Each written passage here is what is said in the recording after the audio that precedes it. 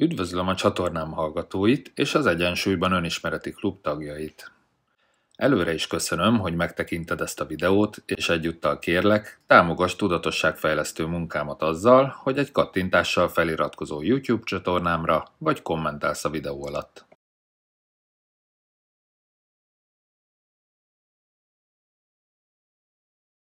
mi is az élet célja, és mi a boldogság kulcsa. Ez nagyon egyszerű, és több ezer éve nem változott ez a képlet. Az élet célja és a boldogság kulcsa az önismereten és a tevékenységeinkből szerzett élettapasztalataidon keresztül megtalálni a személyes küldetésedet, darmádat, melyben kiteljesedve ajándékává válhatsz a világnak. A kiteljesedett boldog élet titka, hogy valósítsd meg a harmóniát az életed négy alappillérén.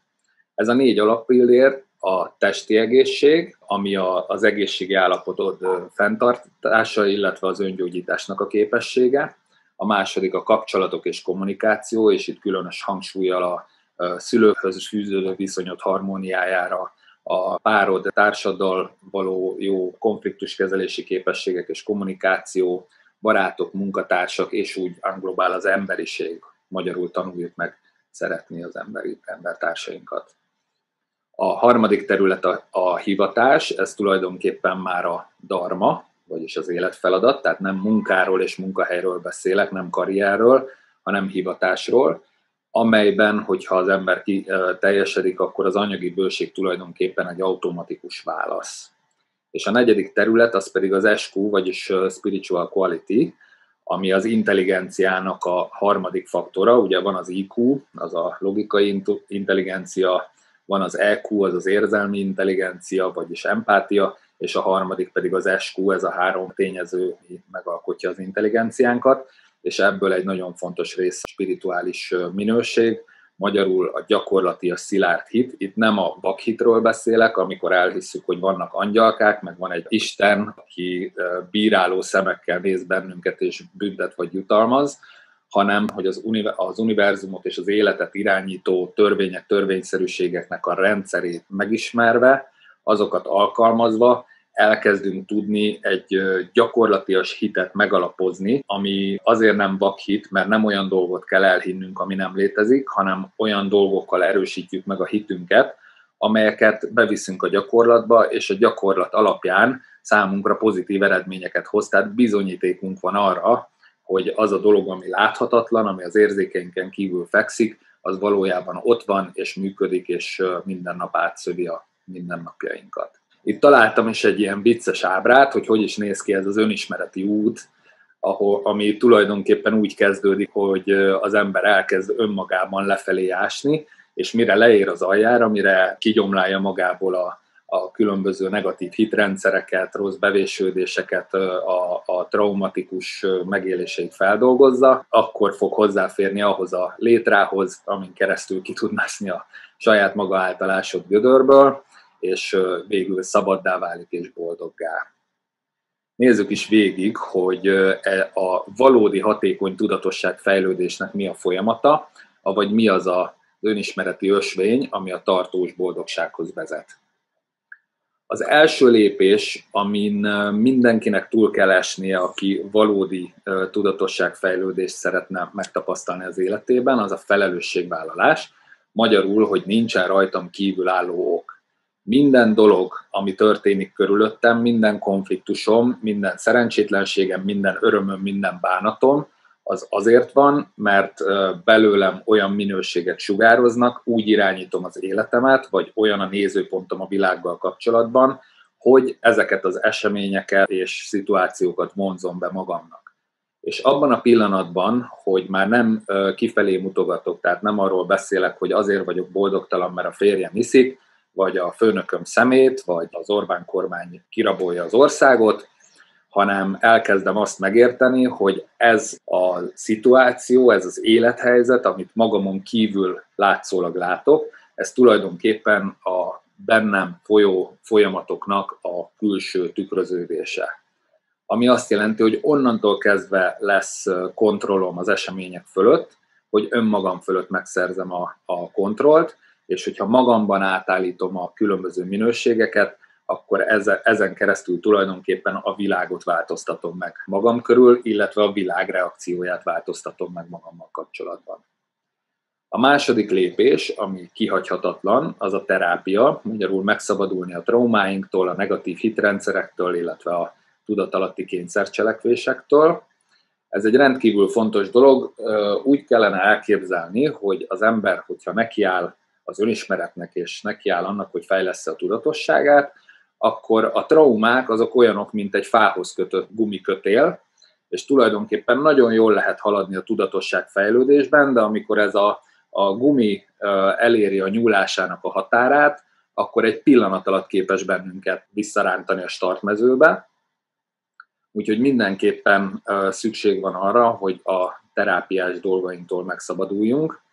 és szerencsére ma már azért az általános hozzáállás a terápiához nem olyan, mint régen, tehát régebben úgy gondolkodtak róla, hogy annak kell terápiára menni, aki beteg vagy bolond, vagy valamilyen baj van a fejével. A mostani generáció szerencsére már másként gondolkodik, észrevette, hogy ezeknek a terápiás dolgoknak valóban rendkívül sorsrontó hatása van, ezért mindenkit arra bíztatok, hogy amíg, amíg érzi, hogy vannak benne ilyen dolgok, addig forduljon szakemberekhez, járjon elvonulásokra, és próbáljon ezektől a terápiás dolgoktól megszabadulni.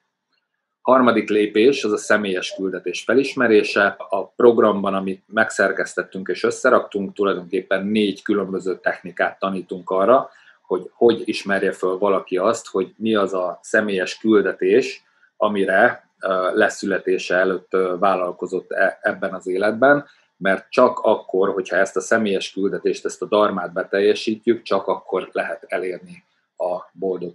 kiteljesedett életet.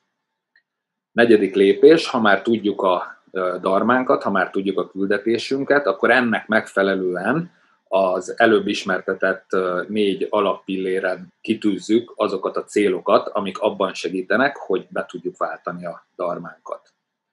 Ötödik lépés az emberi teremtő mechanizmus és az univerzális léttörvények rendszerének megismerése és urallása céljaink megvalósításához. Nagyon sokan úgy gondolják, hogy vannak olyan emberek, akik jó teremtők, és vannak olyan emberek, akik nem tudnak olyan jól teremteni. Ez egyáltalán nem igaz. Tehát ami a Bibliában meg van írva, hogy Isten a saját képmására formálta az embert, ez ebben a tekintetben is teljesen helytálló. Tehát minden egyes emberi lény ugyanolyan erős teremtő, és ugyanolyan erősen képes teremteni, és ugyanolyan erősen teremt is nap mint nap, csak hogyha nem ismerjük ezt a folyamatot, nem ismerjük ezt a mechanizmust, hogy hogy működik, akkor tulajdonképpen nem tudatosan használjuk ezt a teremtő mechanizmust, hanem hagyjuk, hogy a tudatalattink átvegye az irányítást, és tulajdonképpen az, hogy mi szeretnénk egy, egy fantasztikus párkapcsolatot, de közben alacsony az energiaszintem, rossz a gondolkodásom, negatív a gondolkodásmódom, nem tudom, hogy milyen lépésekből áll a, a teremtés, akkor ne csodálkozzunk rajta, hogy igazából a teremtőgépezetünk létrehozza ezt a párkapcsolati minőséget, amire mi nagyon vágyakozunk, csak azon az energiaszinten és abban a minőségben, amin mi éppen állunk. Tehát minden egyes ember minden egyes tized másodpercben folyamatosan teremt, és minden, ami jelenleg az életedben van, az annak a következménye, amit ezen a teremtő rendszeren keresztül te átpréseltél magadon, úgyhogy ezért nagyon fontos, hogy megismerjük ezt a teremtő mechanizmust. Hatodik lépés a fókusztartási képesség és az akaraterő célozása. Tehát, hogyha kitűztünk célokat, kitűztünk terveket, vagy elképzeltünk álmokat, amiket meg akarunk valósítani, ahhoz nagyon fontos, hogy ezeken a célokon rajta tudjuk tartani a fókuszt, mert ha állandóan szétszóródunk, ha állandóan elaprózódik az energiánk, akkor nem vagy csak részben fognak megvalósulni az álmaink. Biztos ismeritek azt a mondást, hogy ahol, ahol a fókusz, ott az energia, illetve amin a fókusz tartod, az elkezd növekedni. Ezért nagyon fontos, hogy a fókusztartási képesség meglegyen, úgyhogy a programunkban betettünk egy csomó olyan technikát, amivel a fókusztartási képességet meg lehet acélozni, ugyanúgy, ahogy az akaraterőt, mert az akaraterő az az energia, ami bennünket tulajdonképpen el fog juttatni a célunkig. Hetedik lépés a mérhetőség, és itt is a, a magyar ezoterikus piacon nagyon sok hiányosságot tapasztaltam a saját utamon, illetve a René is egyetért velem. Tehát egész egyszerűen borzasztó nehéz azt meghatározni, hogy én most ezen az önismereti úton jelenleg hol tartok, mert ha nem tudom, hogy hol tartok, akkor nem tudom kijelölni a lépcsőket, nem tudom, hogy mi a következő szint, amire föl tudnék lépni, és hogyha nem tudom, akkor egyáltalán nem tudom, hogy mit kellene megtanulnom, mit kellene gyakorolnom ahhoz, hogy följebb tudjak lépni. Emiatt a programba két különböző tudatszint modellt is betettünk, az egyik az több ezer évre nyúlik vissza, a másik pedig a legmodernebb, a spiráldinamika, ami egy tudományos, statisztikailag meghatározott modell, és meglepő módon több ezer év távlatából tulajdonképpen ugyanazokat a tudatossági szinteket hozza ki, és hogyha tudjuk, hogy mi aktuálisan most milyen tudatszinten vagyunk, akkor már azt is tudjuk, hogy mi a következő tudatszint, amit el kell érnünk, és ha ezt tudjuk, akkor annak a tudatszintnek vannak leírásai, vannak meghatározó minőségei, készségei és tevékenységei, és hogyha azokat mi el tudjuk sajátítani, akkor valóban mérhetően följebb tudunk lépni az önismereti skálán.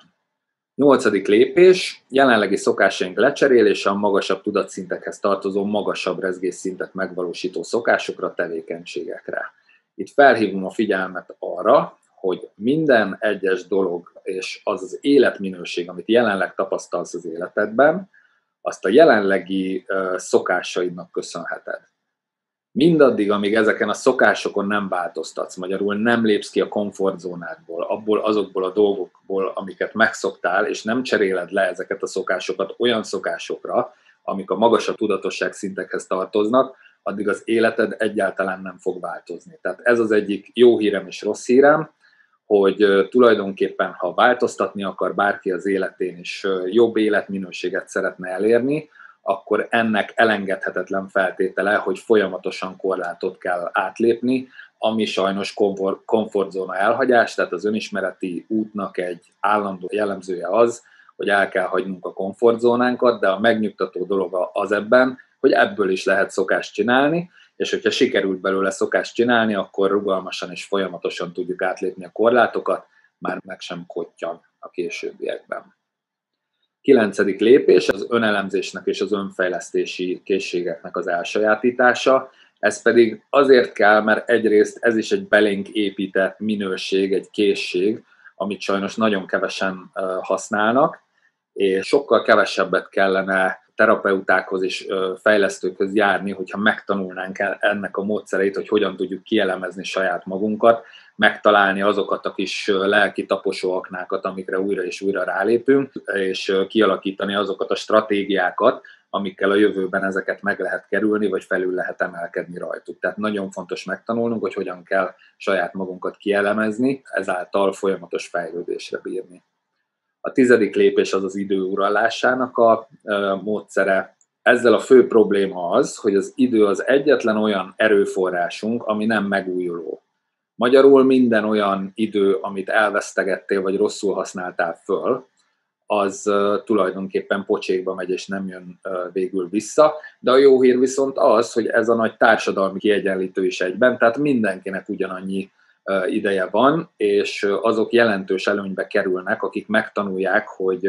hogyan kell az idővel bánni, hogyan kell ezzel kapcsolatosan holisztikusan gondolkozni, hogyan kezdjünk el mi uralkodni az időnk fölött, ahelyett, hogy az idő uralna és hajtana bennünket. 11. lépés a magas létminőséget létrehozó és fenntartó életrend kialakítása. Nagyjából egy ilyen tíz ősi aranyszokást tanítunk meg a, a program során az embereknek, amely segítségével folyamatosan magas szintre tudják magukat helyezni, a tudatuk gyakorlatilag kitágul tőle, az egészségi állapotuk javul, az energiaszintjük folyamatosan nő, és hogyha ezt az életrendet szokásként beemeljük az életünkbe, akkor tulajdonképpen a folyamatos fejlődés és az egyre nagyobb kiteljesedés az, az garantált. A 12-es jön a darmánk beteljesítése, ugyanis a darmát azt nem csak megtalálni kell, vagyis az életfeladatot, nem csak kiteljesednünk kell benne és átadni a, az embereknek, akik számára ezáltal ajándékokká válunk, hanem a megszerzett tudást, a fejlődés útját, a hatalmas élettapasztalatot, amit ezen a gyönyörű úton megszereztünk, ezt kutyakötelességünk átadni az utókornak, és akkor ezzel tudunk részt venni az emberiség szolgálatában és a kollektív felemelkedésben. Napi rendszerességű tudatosságfejlesztő tartalmakért, önfejlesztő módszerekért és élő online jogaórákért jelentkezz az Egyensúlyban online önismereti Facebook klubba, melynek elérhetőségét a videó alatti jegyzetben találhatod meg. Ha tetszett a videó, nyilvánítsd ki véleményed a videó alatti megjegyzés rovatban egy köszivel, és iratkozz fel YouTube csatornámra. Namaste!